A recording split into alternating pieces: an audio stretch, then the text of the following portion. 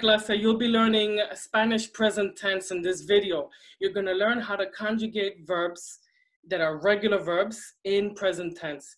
Feel free to get a blank sheet of paper and pen and only use it if you must. This video is gonna have all of the rules and tips and tricks that you can use. And just watching this video will give you a great understanding of what you need to do.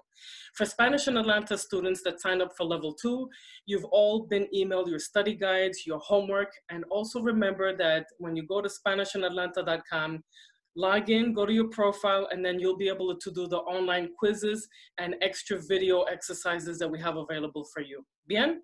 Bueno, listo, here we go. Bueno, clase, what you're looking at here are Spanish verbs. These are pure infinitive verbs that haven't been conjugated yet. Unconjugated verbs are verbs that tell us what action is being done, but we don't know who's doing it and we don't know when it's being done. Okay? When you conjugate a verb, what you're saying is that there is a person doing these things. So, for example, we have this person and we have this action. When you put the action together with the person, you get those boxes we talked about earlier. Box number one is who are you talking about? So this is the person in your sentence, the subject. Now we need to put action to go along with it. So this action, this word tells us what action this person is doing. When we put these two things together, we get a sentence, a simple sentence, and we have to conjugate a verb. Conjugating a verb is what you're gonna be learning in this video. We'll be doing present tense conjugations of regular verbs, bien? If you don't understand sentence structure, then you must review your level one material or wait for a video that covers that material later on, bien? Bueno, listo. Entonces, don't worry about what these words mean. Right now, it's important to understand how these verbs change and what is the, the reaction that they have when you put a subject next to them. Okay? So just watch and learn. So our sentence is going to start with él. This is the person doing all of these verbs. Yeah? So we have él descansa. Él aprende. Él bebe. You see what I'm doing? Él viaja el aprende, el estudia, you're not saying estudiar, you're saying estudia. Why? Because the subject makes you do that. That's why box number one is the most powerful box in your sentence. It is your subject. It is what your sentence is about. So when you put a subject together with an action, the verb has to be conjugated. And removing this R is a conjugation of a verb. You see how simple that is? So, él estudia, él comprende, él descansa, él trabaja, él habla, él camina, él maneja. Muy bien. This is what you must always do in present tense when a singular male is doing the action. Now, what do we do when we have ella? Ella. Ella descansa. Ella aprende, ella bebe, ella viaja, ella aprende español, ella estudia, ella ah, comprende, ella descansa, ella maneja, ella camina, ella habla, ella trabaja. You see? When you start a sentence with femenina or masculina, it really doesn't matter. The verb doesn't care if it's a femenina or not. What we care about if it's a third person, uh, and that's it. Is it second, first, second, or third person?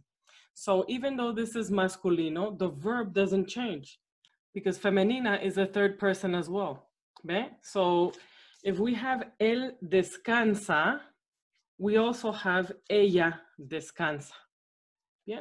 Please refer to Spanish in Atlanta study guide, the the study guide that we emailed you. For those students that sign up with us, you get uh, study guides, videos, online quizzes, and all that good stuff. We email you the homework.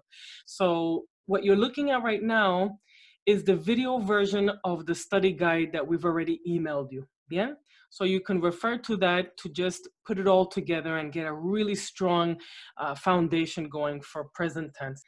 Look what happens when we have a yes. A yes Ellas descansan. Ellas aprenden. Ellas beben. Ellas viajan. Ellas aprenden. Ellas estudian. Comprenden. Descansan. Trabajan. Hablan. Caminan. Manejan. The subject has changed. Now we have uh, plural. Yes, this is third person plural. Entonces, ellas, ellas. Ellas is the reason why you must do this to the verb. You cannot say trabaja because you have more than one. If there's only one, you say trabaja. But now we have ellas, so you must say trabajan. So you see, this is a lot like math.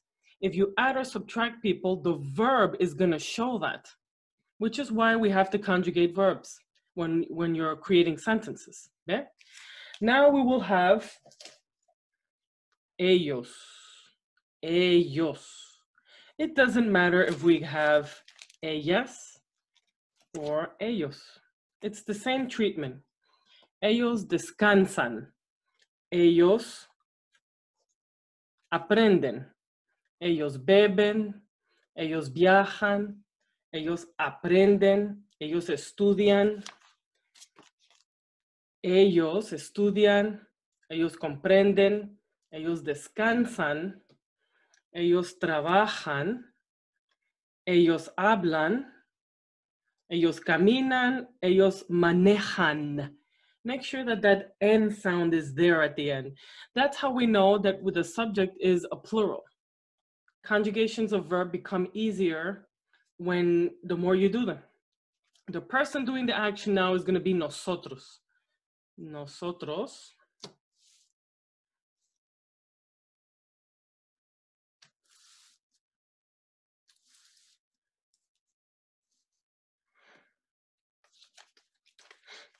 So now we have nosotros.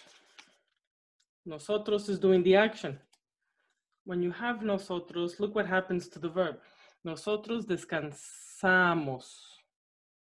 Nosotros aprendemos.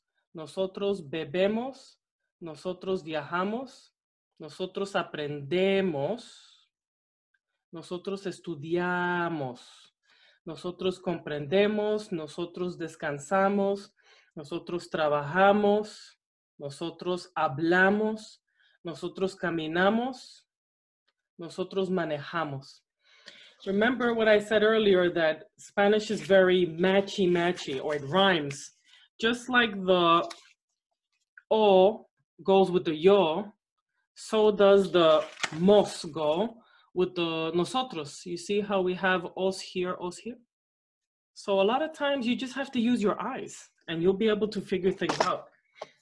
Another thing is things will sound right. Uh, the more you practice these, you're gonna know what sounds right and what sounds like a, what sounds off. Entonces, uh, your ears and your eyes can be a great asset. Bueno, listo, moving onward. We have one more. Tú. when the person that's doing the action is tú, look what happens to the verb.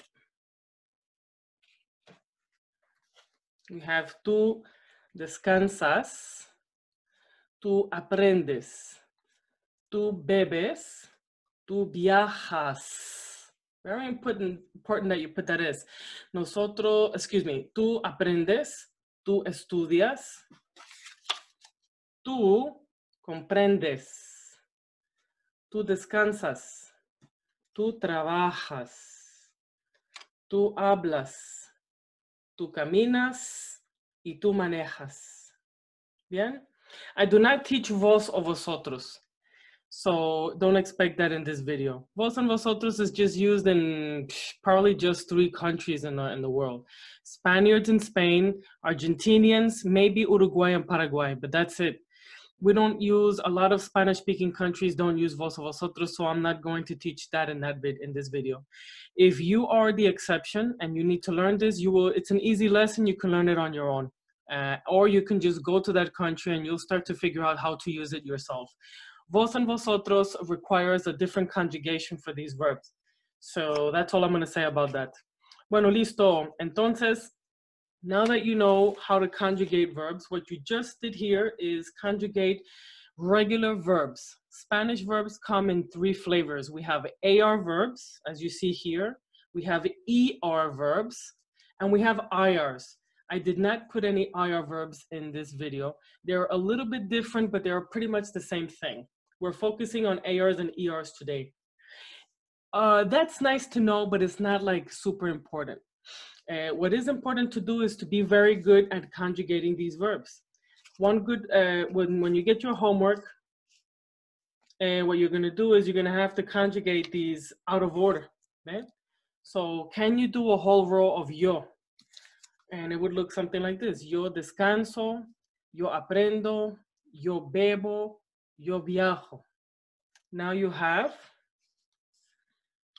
eh, ellas aprenden, ellas estudian, ellas comprenden, ellas descansan.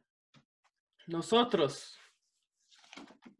nosotros trabajamos, nosotros hablamos, nosotros caminamos y nosotros manejamos.